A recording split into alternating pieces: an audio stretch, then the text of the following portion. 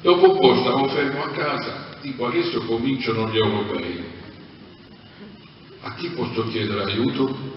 Ovviamente si è alzato Orozzo Canale, da me e a chi se no. Ah, che cosa posso...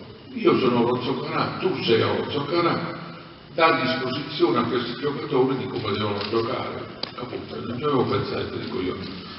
Allora comincio a scervellarmi, chi posso chiamare? Mancini non lo conosco. Mi viene in mente mio figlio fa, ma non avevi il numero di Chiellini? Tu una volta ti sei ah Chiellini, capitano. E chiamo Chiellini. La sera prima, la sera prima dei mondiali, dei, degli europei.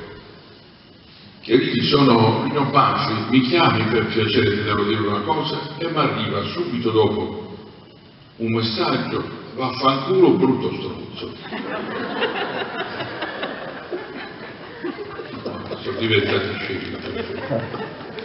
Poi dopo una mezz'oretta mi arrivò l'altro messaggio, Dino ma sei veramente tu? E io sì, sono veramente io. Oh perdonami, io credevo che era uno scherzo, mandato a quel paese.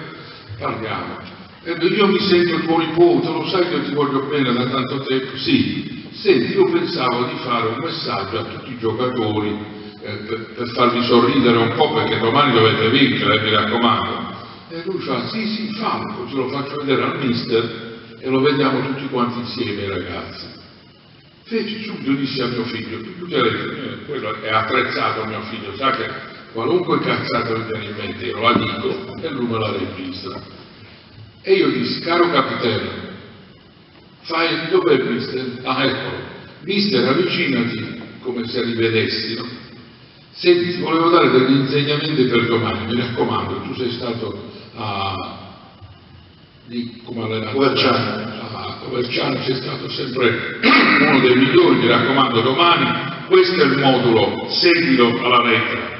Intanto il 555 sappi che non è un metodo di gioco, ma sono le cose che devono mangiare i giocatori prima delle partite importanti. Per esempio, 5 cozze veloci, 5 canolicchi, 5 allievi e 5 polpetti una volta che fanno questa provvista di queste cose, sicuro che la partita si vince. Invece il modulo da seguire è Spinazzola, che è anche il nome di un paese dalle parti nostre della Puglia, dico io, Spinazzola immobile. Oh, non è che Spinazzola deve stare fermo, immobile, che non si deve muovere, sarei scemo a darti queste cose. Spinazzola passa immobile, immobile segna, però la condizione sine qua non è che chi segna il gol mi dica vicino a una telecamera porca puttana, così io capisco che è dedicata a me. Tutto questo il giorno dopo, per volere, non si sa di chi mi vuole aiutare, è successo veramente. Mio figlio scappa di costa perché abita l'appartamento di sotto, fa papà ma che sta succedendo? Ma non è che tu hai dei poteri che noi non sappiamo, sta succedendo tutto quello che tu hai detto ieri, Qua io dico, vabbè, ma figurati se adesso questo viene, stavo per dire, figurati se va a dire porca puttana, invece ho visto il mobile che correva verso la telecamera e disse porca puttana. Poi ha segnato l'altro insigne, ha preso l'esempio, porca puttana, da quel giorno io sono diventato con l'aiuto di Orozzo Canà quello consigliere della nazionale, quello che fa vincere la nazionale, e di lì è nato il porca puttana. Giustamente quelli della team hanno detto ecco Banfi può fare la pubblicità e dice porca puttana ed è nata questa cosa.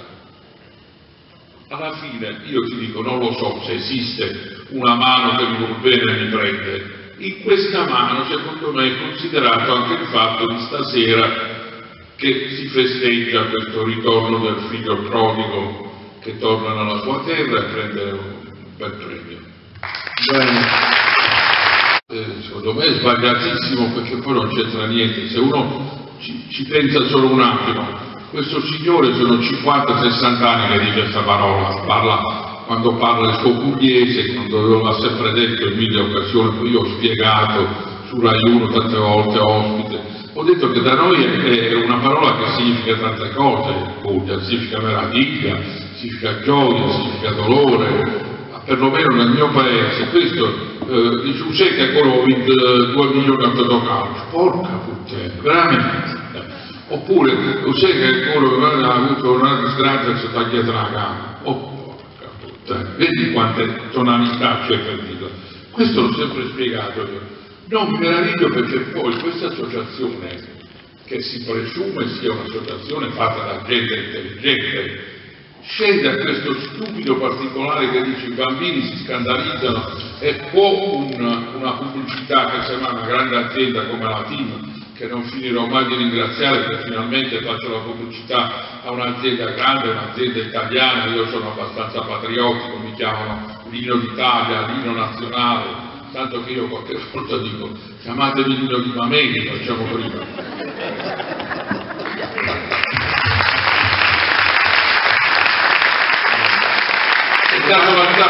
Piedi perché poi tutti i migliori giornalisti hanno parlato contro di loro come fai a, a, stabilire una fascia per i bambini, una fascia per, a parte che i bambini fanno le pernacche a sentire queste cose, figurati. Anzi, proprio giorni fa un papà fa un bambino di 5-6 anni, fai sentire il bambino, dai, il bambino non voleva, si vergognava, fai sentire il bambino fa, porca puttana!